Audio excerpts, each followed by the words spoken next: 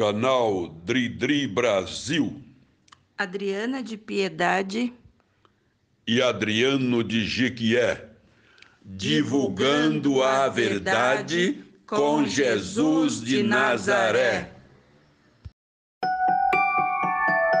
Ouça agora Presente Diário um devocional para aqueles que buscam a Deus. Hoje é 24 de março. Título de hoje: Dignidade. Leitura bíblica, Lucas capítulo 4, versículos de 16 a 30. Versículo em destaque: Quando insultado, não revidava. Quando sofria, não fazia ameaças, mas entregava-se àquele que julga com justiça. 1 Pedro capítulo 2, versículo 23.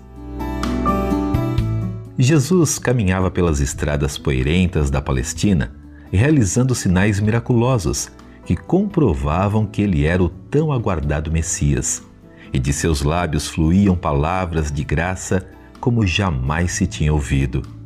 Isso era chocante para aquela gente de Nazaré que o conhecia desde criança como filho de um humilde carpinteiro. Mentes fechadas eram incapazes de reconhecer a glória de quem estava diante deles. Confrontados perante o Filho de Deus, muitos ficaram furiosos e, com o coração endurecido, queriam matá-lo.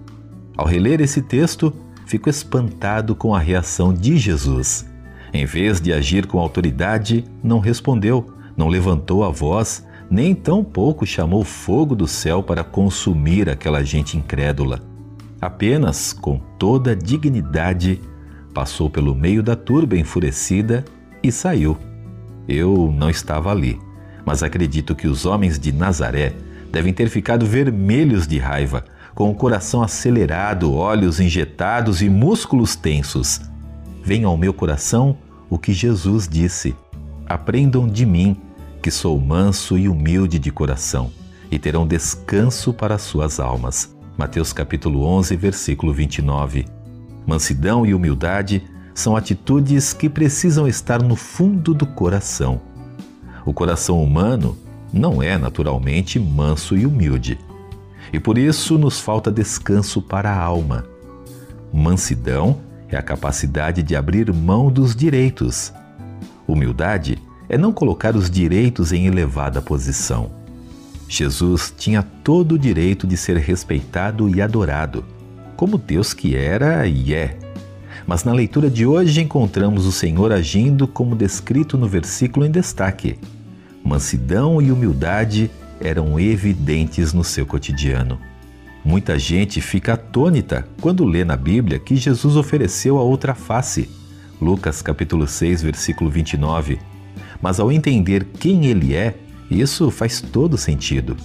Precisamos aprender com o Senhor a mansidão e a humildade e pedir poder do Espírito Santo para agir como ele. Aprendamos com Jesus um coração manso e humilde proporciona a dignidade necessária para superar todas as ofensas.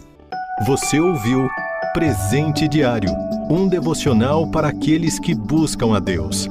Acesse rtmbrasil.org.br.